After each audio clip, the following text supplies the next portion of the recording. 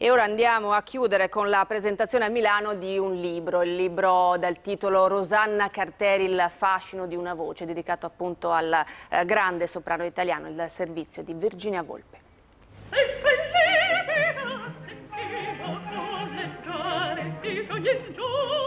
Indimenticabile Violetta nella Traviata di Verdi, il soprano Rosanna Carteri fu una delle voci più affascinanti del periodo d'oro della lirica tra gli anni 50 e 60. Un libro, come spiega Armando Torno, che ne ha scritto la prefazione, racconta la sua carriera breve ma costellata di successi. Una voce mitica che improvvisamente venne tolta alle scene, è una cosa che capita rarissimamente. La ragione incredibile che ha avuto per fuggire dalle scene si chiama amore. E volevo avere dei figli e ho detto o canto o faccio i figli e ho fatto due figli stupendi. Un talento fuori dal comune, un carattere molto forte, quello di Rosanna Carteri, che debuttò appena diciannovenne e dopo aver cantato nei maggiori teatri del mondo decise a 40 anni, al culmine della carriera, di lasciare il palcoscenico senza rimpianti.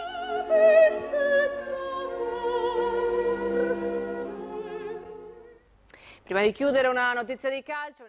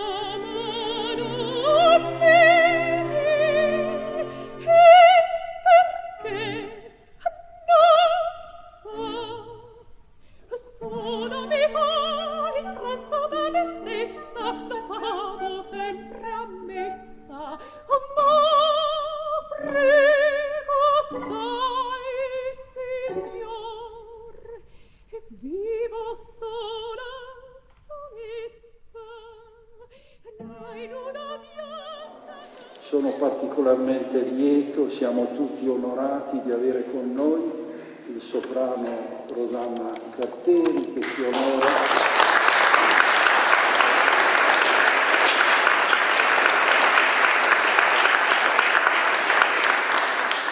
Grazie della partecipazione, auguri rinnovati alla signora Carteri, al marito che è qui presente, alle figlie e vediamo di ritrovarci ancora insieme. Grazie a tutti.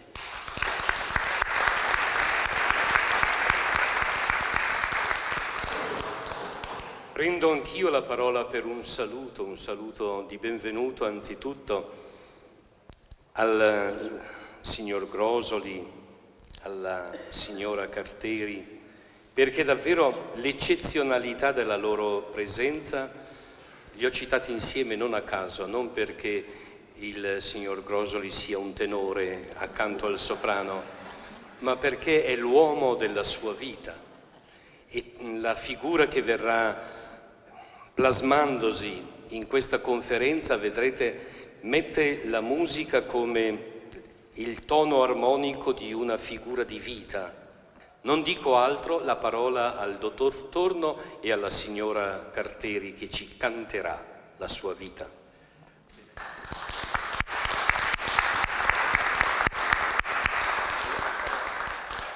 Grazie a Monsignor Borgonovo, grazie al professor Caloia per le loro parole, e, ma grazie a tutti voi di essere qua, grazie a Rosanna Carteri.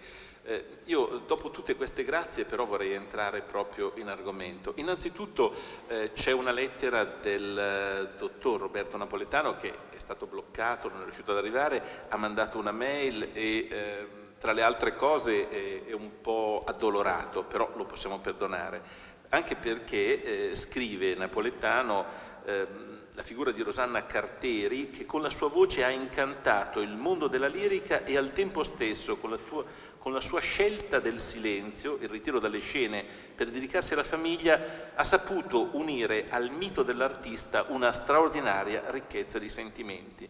Mi scuso con tutti voi.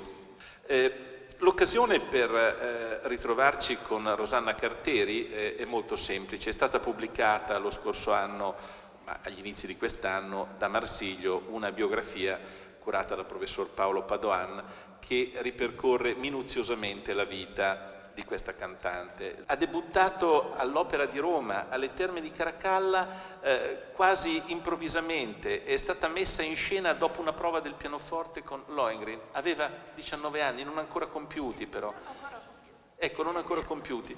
E tenete presente che la prima volta che ha cantato invece aveva 13 anni, signora Carteri. Sì, avevo fatto un concerto a Torri del Benaco quando eh, c'era stata una cosa particolare, che quando entrai in palcoscenico, guardai la platea, erano tutti soldati tedeschi. C'era la guerra. Eh sì, altro che e come. Ad ogni mia romanza mi applaudirono e alla fine del concerto fu un grande successo, un trionfo possiamo dire. In seguito feci degli altri concerti con grandi cantanti lirici, all'epoca come Aureliano Pertile, Beniamino Gigli ed altri. La cosa clamorosa è che Rosanna Cartieri ha detto di no a Hollywood. Eh, io vorrei trovare oggi un soprano, una donna italiana che dica di no a Hollywood. È quasi impossibile, è praticamente impossibile. Comunque Rosanna Cartieri disse di no semplicemente a Hollywood perché eh, aveva una famiglia, non poteva rimanere in America, teneva più alla famiglia che non certo. alla carriera di Hollywood.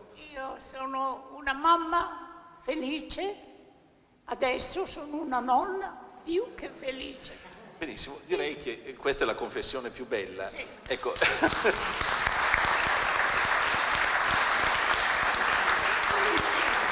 In questo libro troverete la ricostruzione di una delle carriere più belle della lirica italiana. Quando eh, Rosanna Carteri cantava, c'era ancora Toscanini, il quale di voci se ne intendeva. Ecco, io vorrei eh, proprio così leggervi una cosa molto semplice che eh, lei ha scritto ed è, eh, e sono le sue prime mondiali. Era la cantante preferita da Poulenc e quindi ha fatto delle prime di Poulenc, parlando direttamente con Poulenc. Poi c'è il linguaggio dei fiori di Rosellini alla Scala, c'è l'opera Darau di Becot, Darau di Becot. Sì, c'è Gloria di Poulenc, d'accordo. C'è la Vivi di Mannino al Teatro San Carlo di Napoli. Sì. C'è Delitto e Castigo di Pedrollo a Venezia. Ma la cosa più bella che rimane di lei è l'estrema semplicità con cui ha affrontato la musica, eccetera. Quello che impressiona è una voce eh, che non ha tentennamenti, che non ha problemi per essere rifatta. Oggi sappiamo che le incisioni, grazie all'ingegnere del suono, sono costantemente riprese, sono costantemente aggiustabili. Quando cantava lei eh, tutto questo non era possibile, la sua voce era limpida, lineare, immediata, cioè è una delle voci più pure della lirica italiana. Tra l'altro voglio dire, qua in sala abbiamo Simonetta Puccini che è venuta a renderle un omaggio. Sì, grazie, Lei, si, mi ha fatto un grande piacere. Si sa che Puccini è, è un autore che molte volte non ha eh, pietà per le voci, richiede una dedizione, richiede delle prove e eh, Rosanna Cartieri aveva sempre a che fare con dei direttori d'orchestra esigentissimi. Nel libro c'è una storia La storia che voi potete immaginare è quella di una voce che, eh, diciamo così, debutta non ancora diciannovenne e a un certo punto si ritira per amore, solo per amore. Il responsabile di questa storia d'amore l'abbiamo qua davanti, che è Franco Grosoli. Eh, devo dire che eh, quando io ho fatto ricerche per eh, capire come è avvenuto il matrimonio, mi sono trovato eh, vari articoli del Corriere della Sera dove era annunciato il loro fidanzamento il vostro fidanzamento era annunciato accanto agli articoli di Soraya che in quel momento aveva qualche problema con lo scià di Persia. La cosa più bella poi eh, è stato il matrimonio, perché il matrimonio è avvenuto a Verona, Verona. l'ha celebrato il vescovo di Verona, ma il, lo sposo non riusciva a entrare nemmeno, poi magari le chiederemo una testimonianza, ma eh, c'erano talmente tanti fotografi, le televisioni, c'era tutto questo, nessuno riusciva a entrare in quella chiesa e lui disse una frase, poi vediamo se ce la ripete, poi lo chiederemo anche un intervento di Franco Grosso, gli disse o mi lasciate entrare o siete qua per niente, perché eh, io sono il diretto interessato. Ma io, ecco. e io che cosa faccio? Sono uno sposo, eh. Con la sposa davanti. E poi eh, sappiamo anche che eh,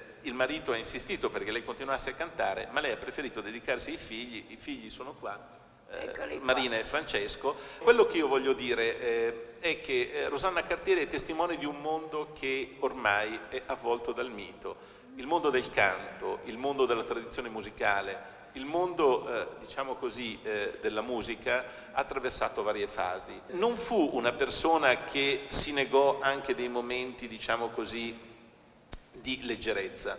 Partecipò al musichiere di Mario Riva, tutti se lo ricordano perché eh, oltre ad aver eh, prestato la sua voce e la sua presenza, non dimentichiamoci che era una bellissima donna, poi vedremo le scene, non dimentichiamoci che eh, questo, questo, fatto di essere presente nella prima televisione eh, portò per la prima volta nelle case degli italiani delle scene di lirica. Molti italiani non avevano mai visto le opere, le avevano sentite magari alla radio, sapevano che all'Arena di Verona, alla Scala c'erano, ma non riuscivano ad andare e per la prima volta videro le opere grazie al piccolo schermo della esatto, televisione esatto. e videro Rosanna Carteri che interpretava La Traviata, che interpretava Otello, che interpretava tutte queste parti ovviamente come sapeva interpretarle lei. Poi si concesse anche, e abbiamo trovato, poi ma questo sarà una sorpresa finale, abbiamo trovato anche una sua partecipazione ad esempio al musichiere di Mario Riva, lo dicevo, sì, e, eh, lì cantò una canzone che gareggiò anche per Sanremo nel 59 e nel 60, Quando viene la sera, cantata da lei un'altra cosa, non pensate che sia quella. Ma tra l'altro mi sembra che eh, con Mario Riva lei abbia vinto, allora si usava così, non era una televisione con molte pretese, si, si, vincevano ogni risposta due galline padovane. Esatto. Alla fine lo studio aveva 120 galline padovane, sembrava un pollaio. Ecco, cioè, eh, Rosanna Carteri fa parte di questo fa parte di una televisione che sapeva divertire, fa parte di una lirica che in fondo è diventata un mito, fa parte di un mondo dove i direttori d'orchestra sono diventati dei punti di riferimento insostituibili. E io vorrei aggiungere una cosa a quanto ha detto Monsignor Borgonovo, eh, perché è stata chiamata Rosanna Carteri eh, qua, eh, proprio in questa serata di inaugurazione al Museo del Duomo di Milano eh, e il Museo del Duomo fa nascere questa scuola della cattedrale. E eh, parlando con Monsignor Borgonovo, Monsignor Borgonovo è anche un grande intenditore di musica, parlando poi con i responsabili della veneranda fabbrica, il professor Caloia, ma anche il professor Baratta che poi chiameremo in causa, abbiamo detto c'è una cantante che al di là di tutto non ha avuto storie tumultuose come la Callas, non ha avuto chiacchiere di ogni genere e grado, ma è stata una cantante che ha trionfato su tutte le scene e poi si è dedicata alla famiglia. È un esempio meraviglioso, capita, capita una volta nella storia della lirica, però portiamolo una volta e portiamola in Duomo per far vedere che in fondo si può vivere anche senza dare scandalo, si può vivere anche amando semplicemente. E allora abbiamo pensato di invitarla qua questa sera e di farle fare da madrina per il fondo di musica che ovviamente aprirà i suoi diciamo così, i suoi scaffali, perché ci sono 600 anni di musica nel Duomo di Milano. Però io vorrei farle una domanda, signora eh, Cartieri. Ecco, ecco, lei ha risposto al TG1, ha dato una domanda, ha fatto una domanda più lunga, però eh, io vorrei chiederle qualcosa delle sue colleghe, perché lei ha avuto come amica la Callas, con la Callas avete avuto anche degli scambi vivaci, ha, lei ha sostituito la Tebaldi, la Tebaldi cioè, vi, vi scambiavate i ruoli, eh, poi lei, poi le farò un'altra domanda sui direttori d'orchestra, ma com'erano questi personaggi che oggi noi guardiamo come si guardano le immagini sacre, insomma? Io ho un ricordo esattamente della Callas e ero a Firenze che cantavo un'opera. Naturalmente anche in quell'epoca lì gli impegni erano un po' qua e, un po' là e si doveva fare tutti e due come si deve. E io andai, eravamo a Firenze all'hotel e io scesi giù di corsa perché sapevo che dovevo prendere un treno così e so che poi quando l'ho salutato così, buonasera, buonasera, quando sono uscita, il giorno dopo qualcuno mi ha detto che lei a Callas ha protestato e ha detto questi giovani non hanno un senso della, del morale, della bravura, di quello che sono io. E questo era lei però io non ho mai fatto nessuno, nessuna storia con lei, l'ho sempre guardata, guardata, ossequiata e non è mai successo niente. Eh, signora Cateri, so che lei a Parigi è stata pagata più della Callas e so che il direttore del Figaro ah. le ha mandato quel biglietto per l'invito alla Tour d'Argent. Tutto questo è, è, è, abbastanza clamoroso, suppongo. Io non lo so questa storia, se sono stata pagata più di loro, però è stato un periodo molto bello e mi è stato veramente, ho fatto la traviata con grande, grande gioia perché c'era un ambiente stupendo. Senta, eh, adesso io le chiedo, qual è stato il giorno più bello della sua vita? Mm, anzi, sono stati due. Prima quando ci siamo sposati, io e il mio eh, consorte. È, è, è qua, io, adesso, qua. io lo chiamo in sì. causa adesso. Eh. E poi quando sono nati i nostri due figli. Ah, Eccoli ecco, qua anche loro. Sono anche loro. Allora, senta, mm, io... Eh, eh, io poi chiamerò in causa anche il marito perché il marito, lei sa che Franco Grosoli Cavaliere di Gran Croce, persona notissima, eh sì. eccetera, però eh, ha commesso un delitto nei confronti della musica, qualcuno dice, lei lo può assolvere? Sì, suppongo. Ma certo, certo. No. No, anzi... C'è una cosa, signora Cartieri, lei mi ha confessato una cosa in un biglietto, quello che poi metteremo all'asta ovviamente, eh, dice a proposito di maestri ricordo un episodio, diciamo così, bellissimo di Toscanini al Teatro alla Scala. Era seduto in platea, mi ascoltò, poi salì in palcoscenico. la chiamò, mi chiamò, mi chiamò al pianoforte perché Toscanini era un patito di, di, di, subito sì, delle prove molto bene. Lui allora eseguì dei brani musicali, mi fece degli elogi di un futuro radioso, mi, futuro, mi disse che avrei avuto un futuro radioso. Poi eh, fece un'esperienza bellissima eh, che eh, non dimenticherò mai Toscanini le parlò un po' della sua voce, le disse qualcosa. Di quell'episodio vuol dirci un piccolo ricordo? Cosa è successo? Sì, ho un ricordo molto bello. Naturalmente eravamo alla Scala, lui era giù in platea e cominciò a dire, comincia a cantare perché era un uomo molto autoritario. autoritario.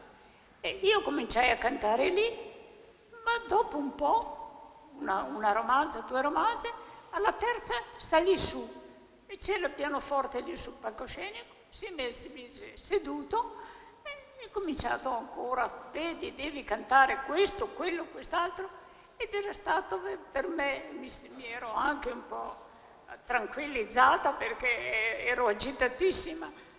E così è stato un uomo che mi ha mandato persino per il Natale successivo un, un, bel, bellissimo quadro con tanti auguri di, di buon Natale Toscanini e questo ce l'ho in camera mia appeso.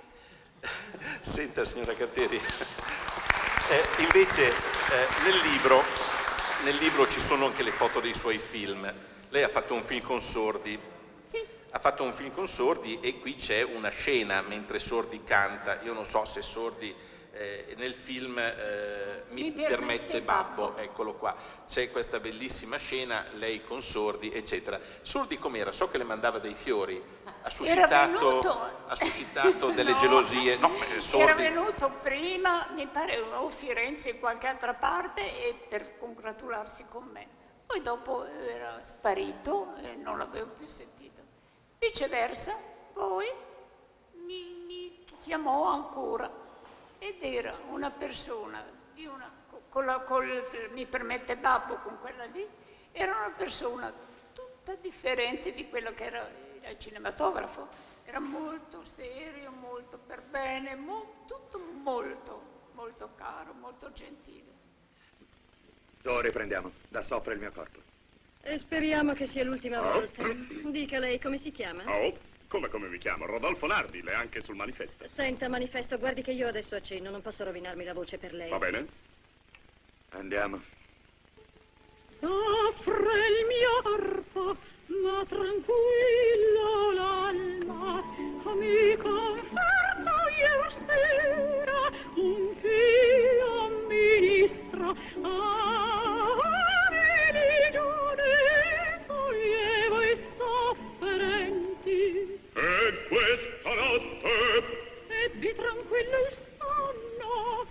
Coraggio dunque, la convalescenza non è lontana. Cosa fa? Accenno, come lei. Si alzi! Lei accenna, io accenno. Ma che accenno è? No, deve provare sul serio. Noi proviamo per lei, solo per lei. Vorrei mandare, eh, e la vedranno qua dietro i nostri eh, ospiti, il pubblico, delle scene eh, di lei che interpreta la Traviata. Ci sarà anche la scena del Brindisi è la televisione degli anni 50, quando le opere non venivano trasmesse alle 3, alle 4 di notte, le possono vedere solo coloro che hanno il mal di denti attualmente o i nottamboli accaniti che però non le vedono. In ogni caso questa era la RAI che faceva cultura e lei ha dato immagini appunto. Questa è una cosa molto bella, che la, la musica italiana deve essere ancora amata e ricordata, non abbandonata. Signora, e la sua voce, la sua voce, guardi che unica.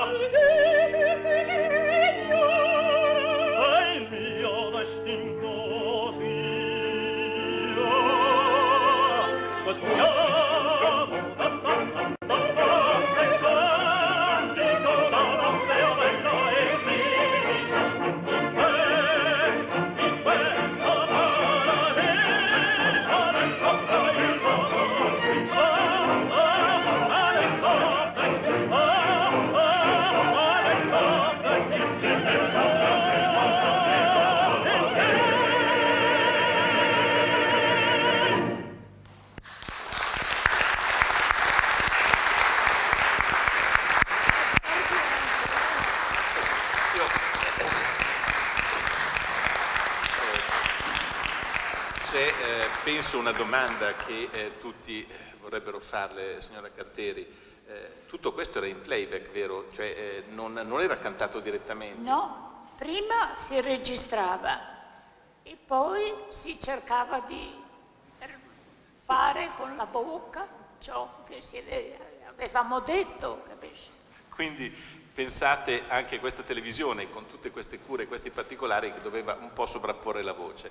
Senta, io adesso eh, vorrei, eh, proprio prima di mandare eh, in onda altre immagini, eh, chiamare due persone, se lei me lo consente, che eh, in qualche modo mh, possono rendere testimonianza. Una è suo marito perché è il primo, il primo critico della sua voce. Lui sa tutto, io vorrei proprio che lui ci dicesse qualcosa.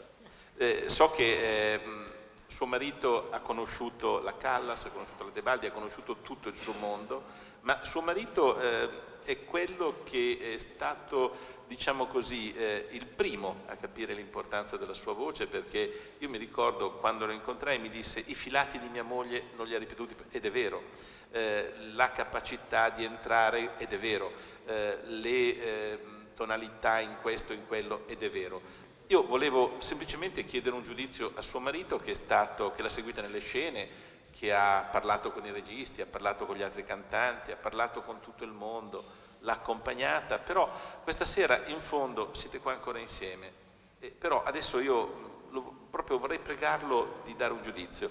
E poi eh, magari chiediamo il giudizio al professor Baratta, ma questo eh, subito dopo, che è un melomane anche se direttore della veneranda fabbrica del Duomo, della comunicazione, eccetera. Dunque, prima di tutto cantando, cioè eh, essendo vicino a mia moglie quasi sempre, a Londra io non ero Grosoli, ero Mr. Carteri. Nel teatro Londra mi chiamavano, l'opera di Londra mi chiamavano Mr. Carteri. Ecco, allora cosa posso dire? Posso dire che ho seguito mia moglie, ho seguito nel suo canto, ho seguito i suoi successi, sono, ero orgoglioso, veramente tanto orgoglioso di quello che lei faceva sul palcoscenico, perché non solo cantava, ma recitava ed era l'unica cantante in quei tempi in cui la vedevo recitare, la sentivo recitare la sentivo cantare, cioè per me era, erano dei momenti di estasi. Ecco, tutto questo.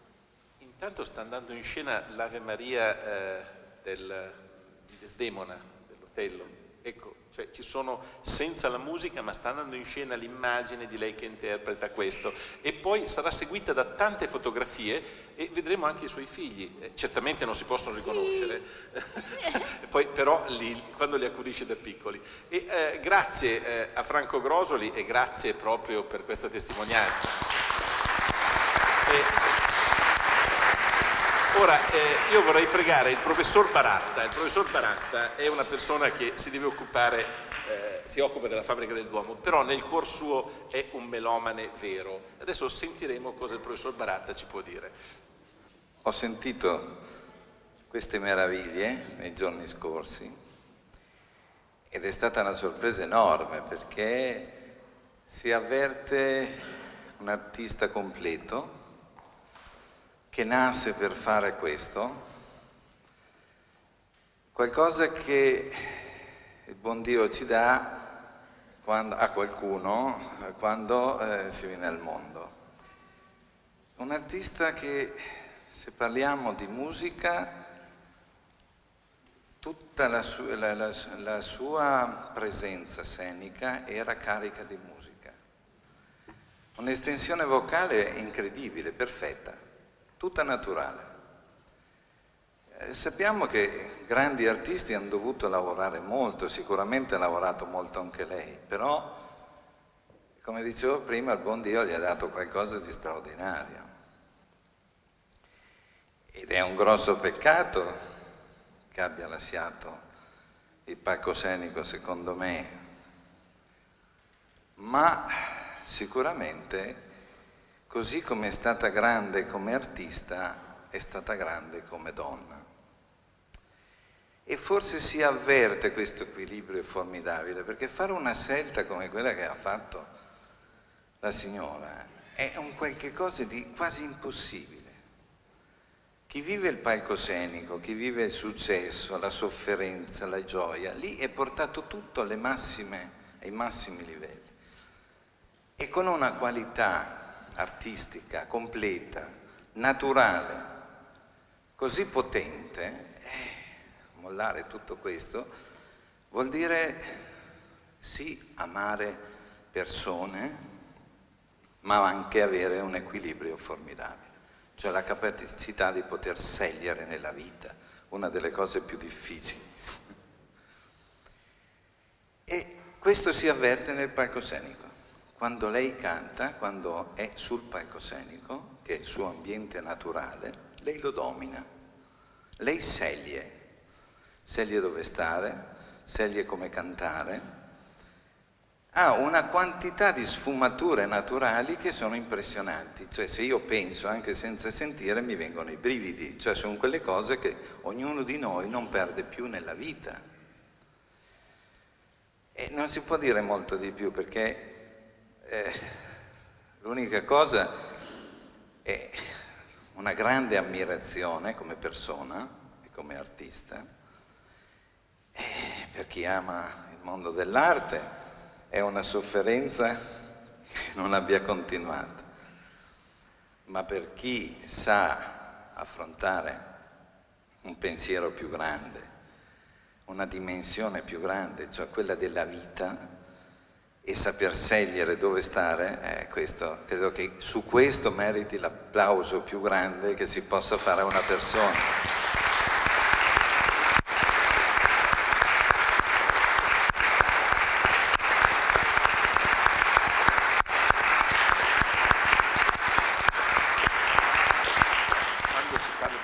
cantante è sempre eh, un'impresa molto difficile. Io eh, tenga presente che nella prima parte della mia vita ho fatto il critico musicale e poi mi sono pentito perché è un lavoro infame. Quando si parla bene di qualcuno, eh, la persona in questione dice finalmente mi ha riconosciuto. Quando si rilevano dei difetti, apriti cielo. E eh, allora mh, si fugge perché poi si cerca di avere quella libertà e che magari è suscitata dall'amore della musica.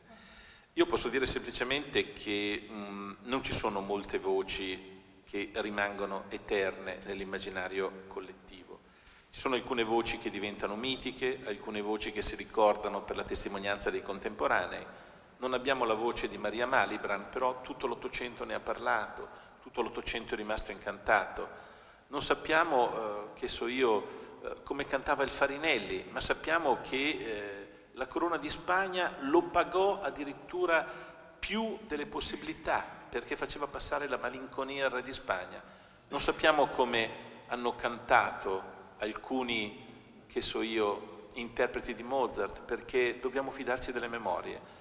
Però da quando c'è la registrazione possiamo almeno dire che alcune cose ritornano tra noi.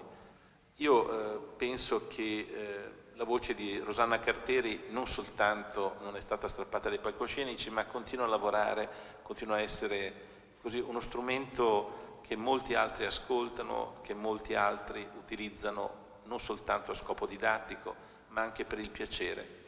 E questo mi sembra che sia un po' l'omaggio che questa sera le possiamo fare, semplicemente qui, eh, inaugurando questa scuola della cattedrale, le cattedrali hanno sempre avuto delle musiche meravigliose.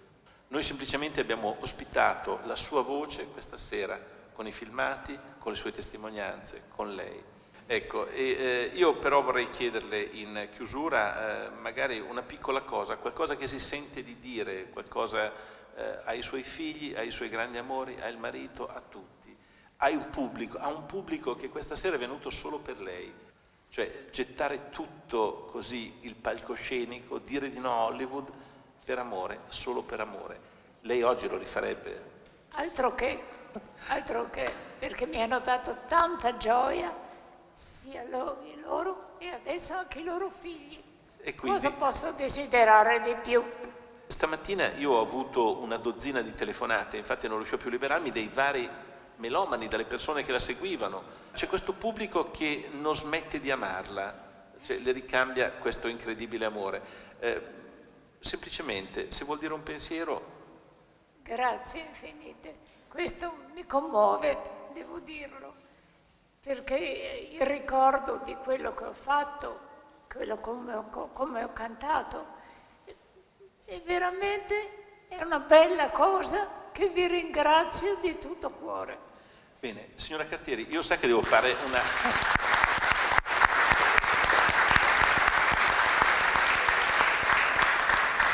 Allora, tenga presente che io devo fare una confessione, signora Cartieri, la faccio anche al pubblico, tanto non abbiamo niente da perdere, possiamo confessarci ogni tanto, siamo in Duomo, meglio di qui, non si può fare niente.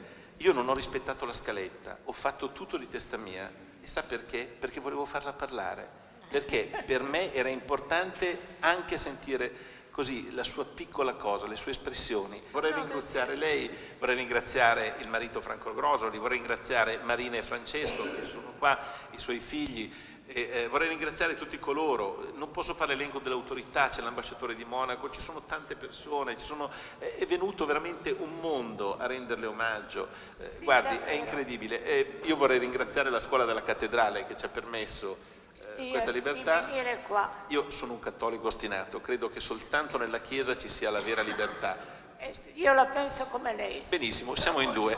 Io faccio gli auguri, ringrazio Rosanna Cartieri, ringrazio tutti voi e eh, grazie anche per questa bella partecipazione, ringrazio gli operatori della RAI, ringrazio tutti i tecnici che hanno permesso anche i montaggi e tutte le cose. Grazie, alla prossima.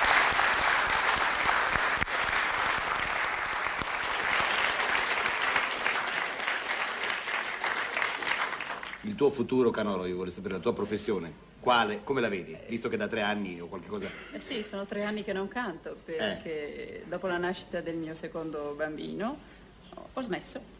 E, e anche perché sono affetta da mammismo acuto e non sono più capace di lasciare i miei figli. Non lo so, continuo a rimandare, vedremo. Allora la trasmissione si chiude a questo punto, ringrazio Lilla Bregnone, ringrazio Rosanna Carter, ringrazio il pubblico presente, ringrazio Eddie Ottoz e con la sigla che ti riguarda Rosanna perché è tratta dall'Ave Maria, eh, cioè è l'Ave Maria dell'Otello di Verdi, noi salutiamo il pubblico e arrivederci.